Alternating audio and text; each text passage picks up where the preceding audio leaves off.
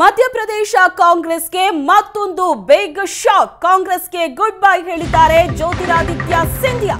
ಬೆಳಗ್ಗೆ ಅಷ್ಟೇ ನರೇಂದ್ರ ಮೋದಿ ಭೇಟಿಯಾಗಿದ್ದಂತಹ ಸಿಂಧಿಯಾ. ಜ್ಯೋತಿರಾದಿತ್ಯ ಸಿಂಧಿಯಾ ಬಿಜೆಪಿ ಸೇರ್ಪಡೆ ಬಹುತೇಕ ಖಚಿತ ಅಂತ ಹೇಳಲಾಗ್ತಾ ಇದೆ. ಕಾಂಗ್ರೆಸ್ನಲ್ಲಿ ನನಗೆ ಕೆಲಸ ಮಾಡೋದಕ್ಕೆ ಆಗ್ತಿಲ್ಲ. ಸೋನಿಯಾ ಗಾಂಧಿಗೆ ರಾಜೀನಾಮೆ ಪತ್ರವನ್ನ ರವಾನಿಸಿದ್ದಾರೆ ಸಿಂಧಿಯಾ. ಬೆಳಗ್ಗೆ ಅಷ್ಟೇ ನರೇಂದ್ರ ಮೋದಿಯನ್ನ ಭೇಟಿಯಾಗಿದ್ರು ಸಿಂಧಿಯಾ.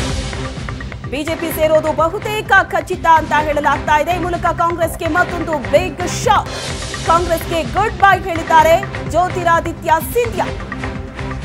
ಮಧ್ಯಪ್ರದೇಶದಲ್ಲಿ ಆಗ್ತಾ ಇರುವಂತಹ ರಾಜಕೀಯ ಬೆಳವಣಿಗೆ ಇದು. ಸಿಂಧಿಯಾ ಬಿಜೆಪಿ ಸೇರ್ಪಡೆ ಬಹುತೇಕ ಖಚಿತ ಅಂತಲೇ ಹೇಳಲಾಗ್ತಾ ಇದೆ.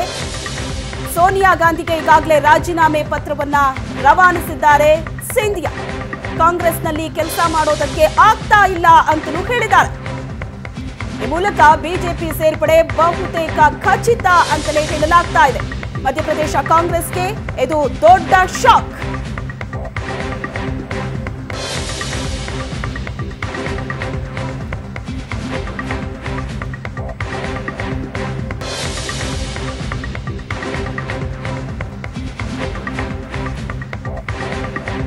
ಮಧ್ಯಪ್ರದೇಶದಲ್ಲಿ ಆಗ್ತಾ ಇರೋ ರಾಜಕೀಯ ಬೆಳವಣಿಗೆ ಇದು. ಜ್ಯೋತಿರಾದಿತ್ಯ ಸಿಂಧಿಯಾ ಕಾಂಗ್ರೆಸ್ಗೆ ರಾಜೀನಾಮೆಯನ್ನ ನೀಡಿದ್ದಾರೆ. ಬಿಜೆಪಿಗೆ ಸೇರ್ಪಡೆಯಾಗೋದು ಬಹುತೇಕ ಖಚಿತ ಅಂತಲೇ ಹೇಳಲಾಗ್ತಾ ಇದೆ. ಈಗಾಗಲೇ ತಮ್ಮ ರಾಜೀನಾಮೆ ಪತ್ರವನ್ನ ಸೋನಿಯಾ ಗಾಂಧಿಗೆ ಕಳಿಸಿದ್ದಾರೆ. ಜ್ಯೋತಿರಾದಿತ್ಯ ಸಿಂಧಿಯಾ, ಬಿಜೆಪಿ ಸೇರ್ಪಡೆ ಆಗೋದು ಬಹುತೇಕ ಖಚಿತ ಅಂತಲೇ ಹೇಳಲಾಗ್ತಾ ಇದೆ. ಇದು ಮಧ್ಯಪ್ರದೇಶ ಕಾಂಗ್ರೆಸ್ಗೆ ಒಂದು ದೊಡ್ಡ ಶಾಕ್. ಕಾಂಗ್ರೆಸ್ನಲ್ಲಿ ಕೆಲಸ ಮಾಡೋದಕ್ಕೆ ಆಗ್ತಿಲ್ಲ ಅಂತ ಹೇಳಿದ್ದಾರೆ ಸಿಂಧಿಯಾ. ಕಾಂಗ್ರೆಸ್ಗೇನೋ ಗುಡ್ ಬೈ ಹೇಳಿದ್ದಾರೆ, ಆದ್ರೆ ನಿಜಕ್ಕೂ ಬಿಜೆಪಿ ಸೇರ್ಪಡೆ ಆಗ್ತಾರ? ಬಹುತೇಕ ಖಚಿತ ಅಂತಲೇ ಹೇಳಲಾಗ್ತಾ ಇದೆ.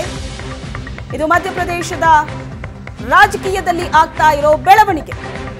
ಜ್ಯೋತಿರಾದಿತ್ಯ ಸಿಂಧಿಯಾ ನಡೆ ಕಾಂಗ್ರೆಸ್ಗೆ ದೊಡ್ಡ ತಲೆನೋವಾಗಿದೆ, ಒಂದು ದೊಡ್ಡ ಶಾಕ್ ಅನ್ನ ಕೊಟ್ಟಿದೆ.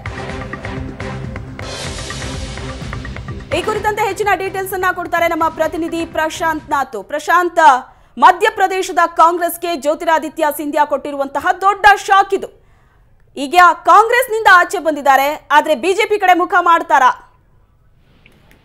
ಶ್ವೇತಾ, ಇವತ್ತು ಬೆಳಿಗ್ಗೆ ಪ್ರಧಾನಮಂತ್ರಿ ನರೇಂದ್ರ ಮೋದಿ ಮತ್ತು ಬಿಜೆಪಿಯ ರಾಷ್ಟ್ರೀಯ ಅಧ್ಯಕ್ಷ ಅಮಿತ್ ಶಾರನ್ನ ಭೇಟಿಯಾಗಿ ಬಂದ ನಂತರ ಜ್ಯೋತಿರಾದಿತ್ಯ ಸಿಂಧಿಯಾ ತನ್ನ ಕಾಂಗ್ರೆಸ್ ಪಕ್ಷಕ್ಕೆ ನೀಡಿರುವ ರಾಜೀನಾಮೆ ಪತ್ರವನ್ನ ನೇರವಾಗಿ ಕಾಂಗ್ರೆಸ್ ಅಧ್ಯಕ್ಷೆ ಸೋನಿಯಾ ಗಾಂಧಿ ಅವರಿಗೆ ಕಳಿಸಿದ್ದಾರೆ.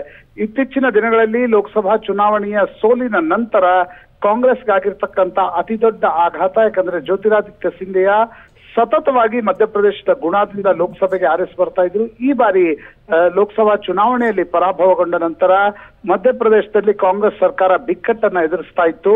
ಕಮಲ್ನಾಥ್ ಮತ್ತು ಜ್ಯೋತಿರಾದಿತ್ಯ ಸಿಂಧಿಯಾ ನಡುವೆ ವೈಮನಸ್ಸು ಹೆಚ್ಚಾದಂತೆ ಸರ್ಕಾರ ಕೂಡ ಅಸ್ಥಿರತೆ ಸರ್ಕಾರದ ಅಸ್ಥಿರತೆ ಸ್ಪಷ್ಟವಾಗಿ ಕಾಣ್ತಾ ಇತ್ತು. ಯಾಕಂದ್ರೆ ಜ್ಯೋತಿರಾದಿತ್ಯ ಸಿಂಧಿಯಾ ಅವರ ಬೆಂಬಲಿಗರು ಈಗಾಗಲೇ ಬೆಂಗಳೂರಿನಲ್ಲಿ ಬೀಡು ಬಿಟ್ಟಿದ್ರು. ಸುಮಾರು ಹತ್ತೊಂಬತ್ತು ಶಾಸಕರು ಜ್ಯೋತಿರಾದಿತ್ಯ ಸಿಂಧಿಯಾ ಜೊತೆಗಿದ್ದಾರೆ. ಇಂಥ ಸಂದರ್ಭದಲ್ಲಿ ಏಕಾಏಕಿ ಜ್ಯೋತಿರಾದಿತ್ಯ ಸಿಂಧಿಯಾ ಯಾವುದೇ ರೀತಿಯಾಗಿರ್ತಕ್ಕಂಥ ಬಿಕ್ಕಟ್ಟು ಶಮನ, ಶಮನದ ಹೈಕಮಾಂಡ್ ಕಸರತ್ತಿಗೆ ಸೊಪ್ಪು ಹಾಕದೆ ನೇರವಾಗಿ ಕಾಂಗ್ರೆಸ್ ಅಧ್ಯಕ್ಷ ಸೋನಿಯಾ ಗಾಂಧಿ ಅವರಿಗೆ ತಮ್ಮ ರಾಜೀನಾಮೆ ರವಾನಿಸಿದ್ದಾರೆ. ರಾಜೀನಾಮೆ ಪತ್ರವನ್ನ ಗಮನಿಸಿದ್ರೆ ಮಧ್ಯಪ್ರದೇಶದ ಕಾಂಗ್ರೆಸ್ ಸರ್ಕಾರ ಉಳಿಯುವ ಸಾಧ್ಯತೆಗಳು ಕಡಿಮೆ, ಬಿಜೆಪಿ ಇದರ ಹಿಂದಿದೆ ಅಂತಕ್ಕಂಥದ್ದು ಸ್ಪಷ್ಟ. ಜ್ಯೋತಿರಾದಿತ್ಯ ಸಿಂಧಿಯಾ ರಾಜೀನಾಮೆ ನೀಡಿದ ನಂತರ ಬಿಜೆಪಿ ಜಾಯ್ನ್ ಆಗ್ತಾರಾ ಅಥವಾ ಪ್ರತ್ಯೇಕವಾಗಿರ್ತಕ್ಕಂಥ ಪಕ್ಷವನ್ನ ಸ್ಥಾಪಿಸಿ ಬಿಜೆಪಿ ಜೊತೆ ಮೈತ್ರಿ ಮಾಡ್ಕೊಳ್ತಾರ? ಇದನ್ನು ಕೂಡ ಸ್ಪಷ್ಟಗೊಂಡಿಲ್ಲ. ಆದ್ರೆ ನರೇಂದ್ರ ಮೋದಿ ಮತ್ತು ಅಮಿತ್ ಶಾ ಅವರನ್ನ ಭೇಟಿಯಾದ ನಂತರ ಜ್ಯೋತಿರಾದಿತ್ಯ ಸಿಂಧಿಯಾ ಕಾಂಗ್ರೆಸ್ ಪಕ್ಷಕ್ಕೆ ರಾಜೀನಾಮೆಯನ್ನು ನೀಡಿದ್ದಾರೆ. ಬಹುತೇಕ ಇವತ್ತು ಸಂಜೆ ಬಿಜೆಪಿಯ ಶಾಸಕಾಂಗ ಪಕ್ಷದ ಸಭೆ ಮಧ್ಯಪ್ರದೇಶದ ರಾಜಧಾನಿ ಭೂಪಾಲ್ನಲ್ಲಿ ನಡೆಯಲಿದೆ. ಶಿವರಾಜ್ ಸಿಂಗ್ ಚೌಹಾಣ್ ಶಾಸಕಾಂಗ ಪಕ್ಷದ ನಾಯಕರಾಗಿ ಆಯ್ಕೆಯಾದ ನಂತರ ಸರ್ಕಾರ ರಚನೆಯ ಕಸರತ್ತನ್ನು ಕೂಡ ಬಿಜೆಪಿ ಆರಂಭಿಸಬಹುದು. ಇಲ್ಲಿಯವರೆಗೂ ಕೂಡ ಜ್ಯೋತಿರಾದಿತ್ಯ ಸಿಂಧಿಯಾ ಮತ್ತು ಅವರ ಬೆಂಬಲಿಗರು ಏನು ಬೆಂಗಳೂರಿನಲ್ಲಿ ಬೀಡು ಬಿಟ್ಟಿದ್ದಾರೆ. ಈ ಬಗ್ಗೆ ಬಿಜೆಪಿ ತನ್ನ ಡಿಸ್ಟೆನ್ಸ್ ಅನ್ನ ಕಾಯ್ದುಕೊಂಡಿದೆ, ಮೌನವನ್ನ ವಹಿಸಿದೆ. ಆದರೆ ಜ್ಯೋತಿರಾದಿತ್ಯ ಸಿಂಧಿಯಾ ಬಿಜೆಪಿ ಜೊತೆ ಸಂಪರ್ಕದಲ್ಲಿರುವ ಕಾರಣದಿಂದಲೇ ನರೇಂದ್ರ ಮೋದಿ ಮತ್ತು ಅಮಿತ್ ಶಾ ಅವರನ್ನ ಭೇಟಿಯಾಗಿದ್ರು. ಹೀಗಾಗಿ ಇವೆಲ್ಲ ಬೆಳವಣಿಗೆಗಳನ್ನ ಗಮನಿಸಿದ್ರೆ ಶ್ವೇತಾ ಕಮಲ್ನಾಥ್ ಸರ್ಕಾರದ ಕ್ಷಣಗಣನೆ ಆರಂಭ ಆಗಿದೆ.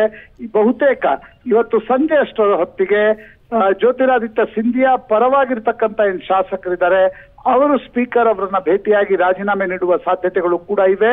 ಸ್ವಲ್ಪ ಹೊತ್ತಿನ ನಂತರ ಜ್ಯೋತಿರಾದಿತ್ಯ ಸಿಂಧಿಯಾ ಪತ್ರಿಕಾಗೋಷ್ಠಿಯನ್ನು ಉದ್ದೇಶಿಸಿ ಕೂಡ ದಿಲ್ಲಿಯಲ್ಲಿ ಮಾತನಾಡಿದ್ದಾರೆ ಆಗ ಬಹುತೇಕ ಹತ್ತೊಂಬತ್ತು ಶಾಸಕರು ಕೂಡ ಬೆಂಗಳೂರಿನಿಂದ ದಿಲ್ಲಿಗೆ ತೆರಳಿ ಜ್ಯೋತಿರಾದಿತ್ಯ ಸಿಂಧಿಯಾ ಅವರ ಜೊತೆ ಕಾಣಿಸಿಕೊಳ್ಳಿದ್ದಾರೆ. ಶ್ವೇತಾ. ಥ್ಯಾಂಕ್ ಯು ಪ್ರಶಾಂತ್ ನಿಮ್ಮೆಲ್ಲ ಡೀಟೇಲ್ಸ್ಗೆ